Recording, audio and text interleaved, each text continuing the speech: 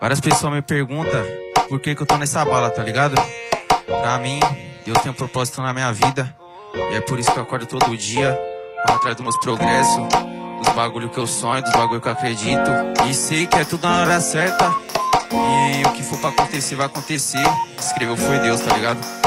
E no silêncio da madruga, a mente dá uma acalmada. Pensamento distante, eu me perguntando a hora que eu vou chegar. Tentadão de fé, fugindo desses olhos grandes Que não quer ver o sucesso de braço cruzado e quer prosperar. Um sonho que tive, Deus vinha ao meu encontro. E eu triste de canto e ele vindo me avisar Que um novo ciclo estava iniciando Pra eu ir me preparando porque o jogo ia virar. Mudança de vida, foquei nos meus planos. De longe enxerga a maldade no olhar quem tá comigo e quem tá se passando.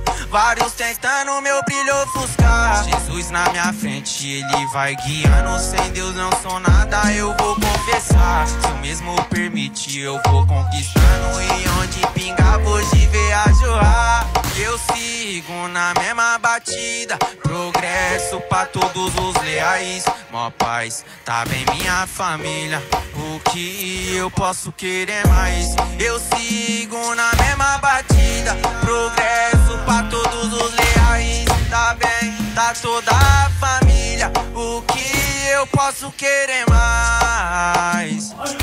Ah, e aí, Zica?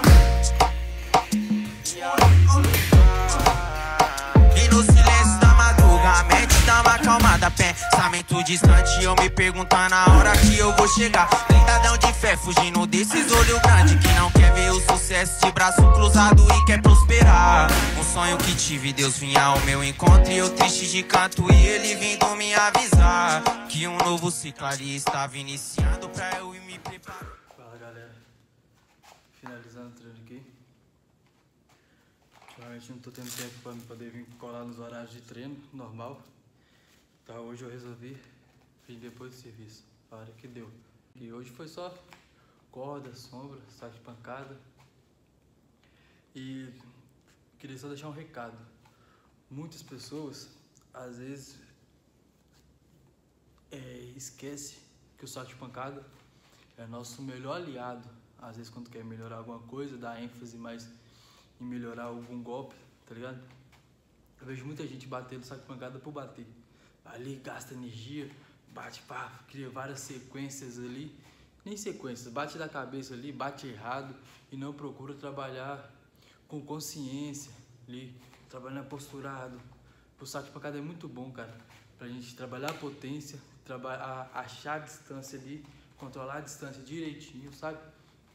Aprender a aplicar os golpes da forma correta, corrigindo a postura do corpo. É, no, como vocês viram aí no vídeo aí, tem hora que eu repito muito o que eu tô fazendo. Por quê?